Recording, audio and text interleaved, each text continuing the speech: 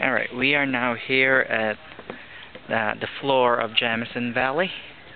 You can see all the different ferns in here.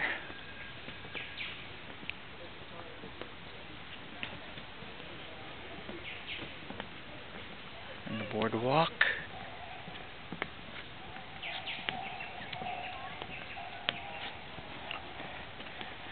There's a boardwalk in here to protect the ecosystem so people don't walk into them.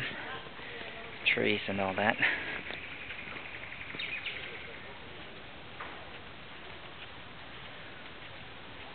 And you can see those lines up there. Those are the cable car to bring us back up to the top.